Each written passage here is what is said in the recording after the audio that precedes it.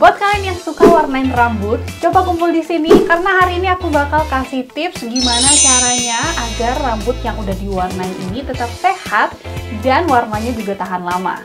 Tapi sebelumnya, seperti biasa, aku mau nyapa kalian dulu. Kalau misalnya kalian baru aja mampir di channel ini, welcome. Nama aku Karisa. Kalau misalnya kalian belum subscribe, jangan lupa untuk subscribe, nyalain lonceng notification, dan kalian juga bisa follow aku di Instagram. Bagi cewek-cewek, pastinya rambut itu adalah mahkota dan kita tuh ingin menghiasi mahkota kita itu dengan cantik. Dan ada berbagai cara yang kita lakukan untuk membuat rambut kita itu lebih cantik dan lebih sehat. Salah satunya adalah dengan mewarnai rambut.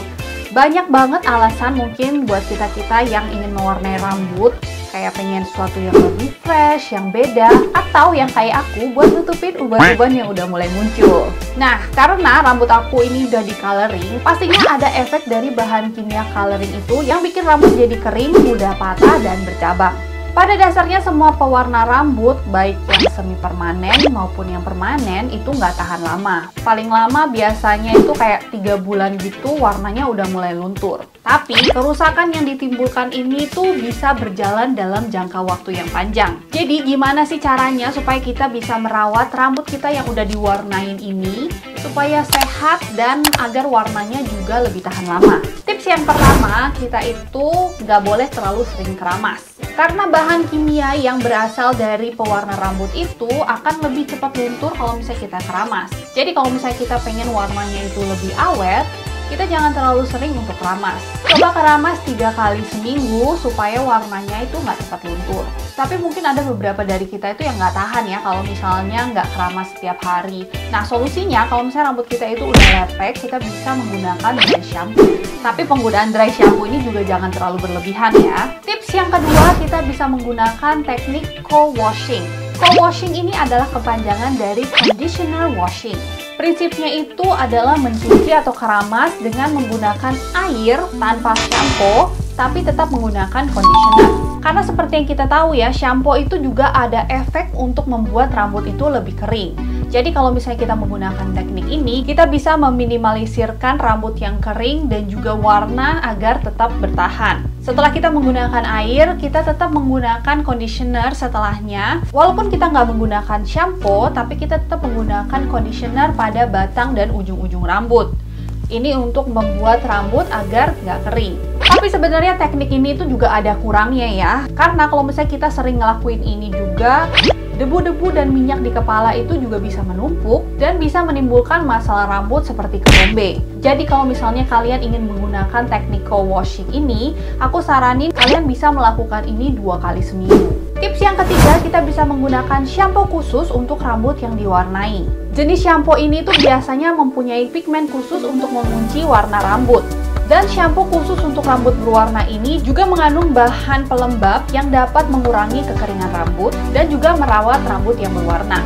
Hindari shampoo yang berbahan sulfat dan alkohol karena ini dapat mengikis warna dan mengurangi kelembaban rambut. Nah, semakin terang warna rambut yang kalian pilih, biasanya itu lunturnya itu semakin cepat. Nah, kalau misalnya rambut kalian itu diwarnai warna-warna yang terang, kayak jadi warna abu-abu atau warna ungu, itu biasanya lunturnya itu bakal lebih cepat daripada warna-warna yang lebih gelap.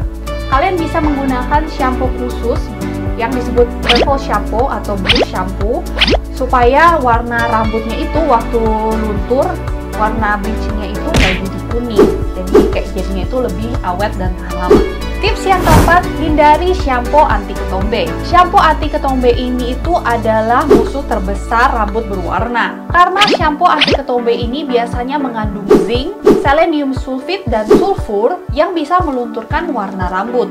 Selain itu juga, tekstur rambut bisa menjadi kering dan sulit diatur. Tips yang kelima, keramas dengan air dingin. Mencuci rambut dengan air hangat atau panas itu akan membuka kutikula rambut dan mempercepat proses pelunturan warna rambut. Tanpa kita sadari, ini tuh akan membuat warna rambut kita menjadi lebih kusam. Tips yang keenam, hindari paparan sinar UV. Seperti halnya kulit yang bisa terbakar oleh sinar matahari, rambut juga bisa mendapatkan dampak yang buruk akibat paparan UV. Terlalu lama atau terlalu sering berada di bawah terik matahari dapat memudarkan warna rambut. Akibatnya, warna cat rambut menjadi kusam dan tidak bercahaya. Jadi untuk menghindari hal ini, kalau misalnya kita harus berada di luar ruangan yang ada terik mataharinya, kita bisa menggunakan topi atau penutup kepala untuk melindungi rambut. Cara yang ketujuh, pakai serum khusus. Terkadang penggunaan cat rambut ini dapat membuat rambut terlihat kusam dan kering. Apalagi kalau misalnya kita sering terkena sinar matahari atau kita itu sering mencatok rambut. So, untuk mengatasi masalah ini kita bisa menggunakan serum khusus rambut, kita bisa menggunakan serum atau hair oil untuk memberikan vitamin dan menutrisi batang-batang rambut. Serum khusus ini juga selain dapat membuat rambut sehat, dia juga bisa berfungsi untuk mempertahankan warna cat rambut. Jadi itu tadi beberapa tips yang kalian bisa lakukan untuk merawat rambut yang udah diwarnai supaya warnanya itu lebih awet dan juga sehat. Memang kalau misalnya kita itu udah memutuskan untuk mewarnai rambut kita, pastinya perawatannya itu akan lebih ekstra. Karena kalau misalnya kita ngecat rambut itu, kita menaruh berbagai macam bahan kimia di sini untuk merubah warna rambut kita yang asli menjadi warna yang kita inginkan. Nah, jadi pastikan kita selalu merawat rambut kita supaya akhirnya itu nggak jadi rusak, bercabang, patah-patah, dan jadi hancur gitu loh rambutnya. Dan kalian juga bisa melakukan perawatan seperti hair mask dua kali seminggu untuk merawat rambut kalian yang udah diwarnai supaya nggak kering. Oke, jadi itu tadi tips agar warna rambut yang diwarnai tetap tahan lama dan sehat. Tapi perlu diingat jangan terlalu sering gonta-ganti warna rambut ya, apalagi bleaching rambut karena ini bakal bikin rambut kalian itu jadi rusak banget. Oke, okay, semoga tips ini bisa bermanfaat buat kalian. Jangan lupa untuk like dan share ke teman-teman kalian juga ya. Tungguin video-video aku yang selanjutnya. Thank you so much for watching. I'll see you on my next video. Bye-bye!